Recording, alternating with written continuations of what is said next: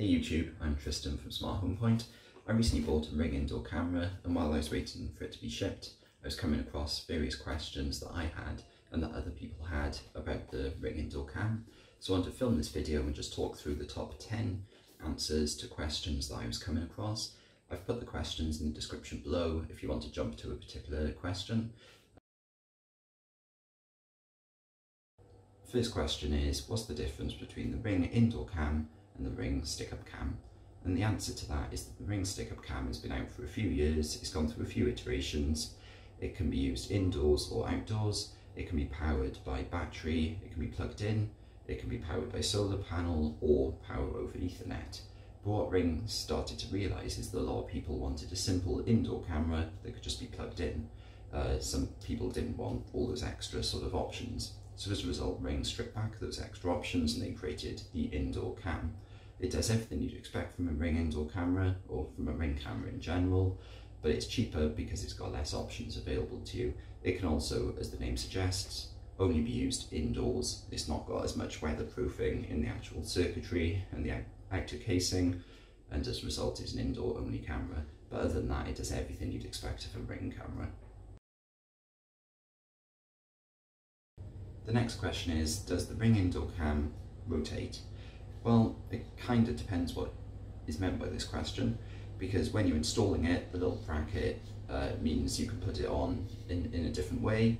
Uh, you can mount this as well on a table, you can mount it on a wall, or you can even mount it up on the ceiling if you wanted. Um, and as part of mounting on the ceiling, what you'll realise is that it will be recording upside down. So there's an option in the app which you can click and rotate the video so it's as though it was recorded the other way up. So in that sense, the, the video does rotate, but that is one-time option. What you can't do is do what some professional security cameras do, and actually while you're watching it, you can't sort of have the ring camera rotate and follow somebody around. Um, so that's the, that's the simple answer to this question is you can rotate as a single option during installation, but you can't actually rotate whilst watching the camera live. The third question is, does the Ring indoor cam record sound? And the answer to that is yes it does. By default it will stream and record sound, but, but you can turn this off in the app. You can go into video settings and under there there's an option to actually turn off audio recording. This is especially important for an indoor camera because not everyone will actually want it to actually be picking up sound. The fourth question I came across is, does the Ring indoor camera have night vision? And the answer to that is yes. The actual camera lens or the sensor has an infrared sensor built in, so it can actually, when the uh, lighting condition drops down, this can automatically switch to black and white recording, so that, you know, in, in essence, it's got night vision mode, and then when the lighting condition improves, it'll automatically switch out to that, back to the full color, full HD mode of recording. Question 5. Does the Ring indoor camera have a siren? No, no it doesn't. It's a tiny device. It's not like the Ring floodlight or the Ring spotlight, which does have a siren. It's not designed to have a siren. It's just a simple indoor camera. It's one of the cheapest cameras you can get in the Ring range. And as a result, the siren is sort of an extra feature that they've stripped out because it's just not needed and not wanted in a device like this. Um, I did notice when I was looking for the answer to this question that uh, Tech Advisor, quite a popular review site, said that four times that has a siren. They completely wrong. They kept going on about it, about how it's a 110 decibel siren, but they completely wrong. Um, I think they just copy and paste that bit of content from the Floodlight Cam, to be honest, the article they've written on that. So the short answer is no, the Ring Indoor Cam does not have a siren. The next question is, does the Ring indoor camera record all the time? Does it record 24-7? And the answer is no, it doesn't. It's like any other Ring device. It doesn't record 24-7. There's no option for that. Uh, Ring did promise that they would introduce that feature uh, back in 2018, but it hasn't seen the light of day. Um, all Ring devices, including the indoor cam, are designed to be motion activated, so when they detect motion, it will then start recording. Equally, if you go into the live view option on the app, it will then record that as well.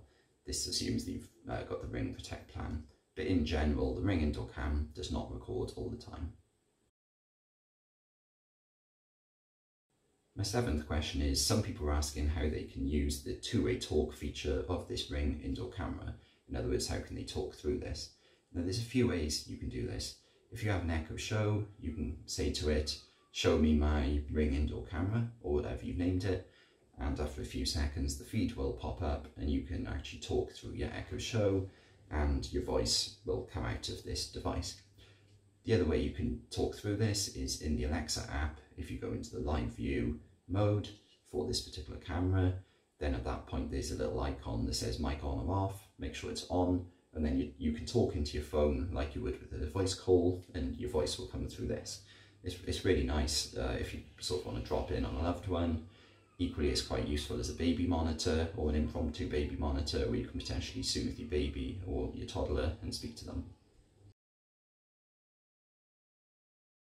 My eighth question is, does the Ring Indoor Cam work through glass and windows?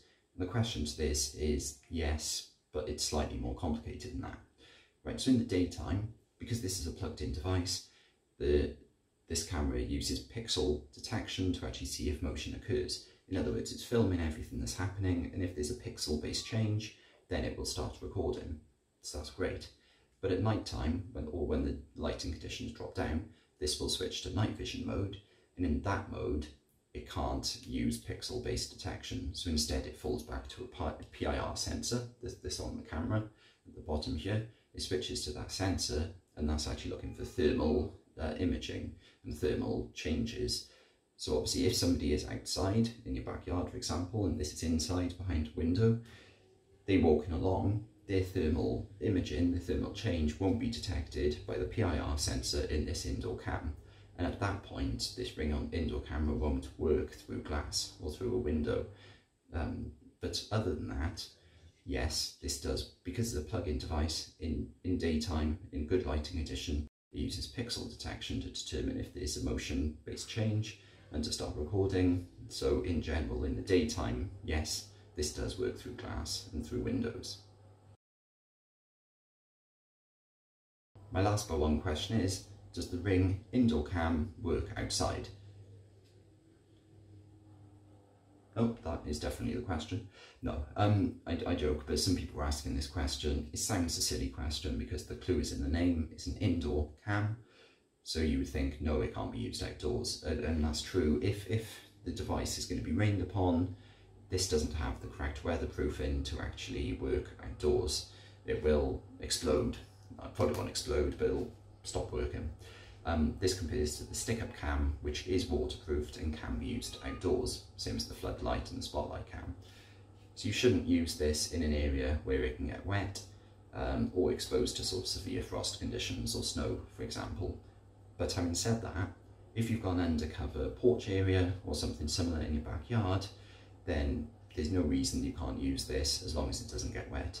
At the end of the day, many people have an Echo device, which is an indoor device, or a tablet and they use them in outdoor undercover areas uh, and they work perfectly fine even though they are indoor only devices. So this is the same.